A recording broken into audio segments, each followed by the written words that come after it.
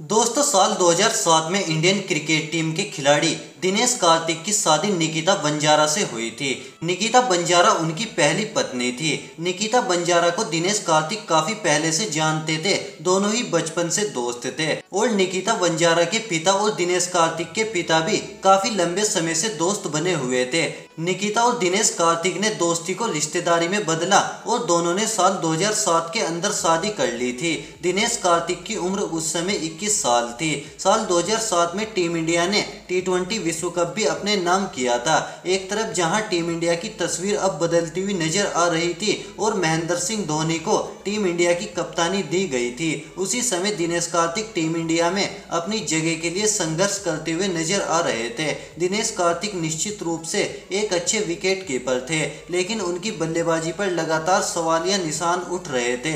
दिनेश कार्तिक को अपनी बल्लेबाजी के ऊपर काफ़ी काम करना था, ताकि दिनेश कार्तिक एक बल्लेबाज के रूप में जगह बना सके।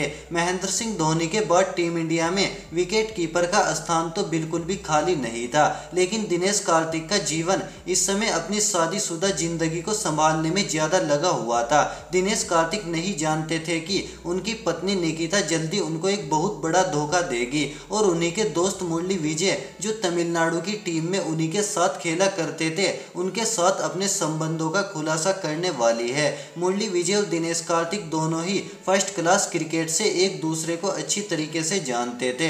तमिलनाडु के लिए दोनों ही रणजी में एक साथ खेला करते थे। एक दूसरे के खेल की सराहना करते हुए नज़र आते थे। निकिता और दिनेश कार्तिक की शादी को पाँच साल ही हुए थे और निकिता उस समय दिनेश कार्तिक के बच्चे की माँ बनने वाली थी और अचानक निकिता मुरली विजय से दोस्ती बनाती हुई नज़र आई। दोनों निकिता और मुरली विजय एक दूसरे से मिलने लगे थे और दिनेश कार्तिक को इसके बारे में साल 2012 में पता चला जब वे विजय हजेरे ट्रॉफी खेल रहे थे। मुरली विजय और दिनेश कार्तिक की दोस्ती एक अलग ही स्तर पर थी। दिनेश कार्तिक को मुरली विजय और उनकी पत्नी के बारे में पता चला तो जैसे कि सब कुछ खत्म हो गया था। लेकिन 2012 के बाद दिनेश कार्तिक ने अपने क्रिकेट करियर को एक अलग मुकाम पर पहुँचाया। दिनेश कार्तिक की पत्नी निकिता को कार्तिक ने तलाक दे दिया। शादी के तुरंत बाद ही निकिता ने एक बच्चे को जन्म दिया और इसी बीच निकिता और मुरली विजय ने शादी कर ली। दिनेश कार्तिक ने इसके बाद शानदार तरीके से टीम इंडिया में वापसी की और एक बल्लेबाज के रूप में अपनी जगह बना ली। लेकिन निजी ज़िंदगी में दिनेश कार्तिक को यह सब निश्चित रूप से खल रहा था। दिनेश कार्तिक काफ़ी निराश होने लगे थे और उसी समय उनके जीवन में एशियाई चैंपियन दीपिका पल्लिकल आई। दोनों ने एक दूसरे से शादी कर ली।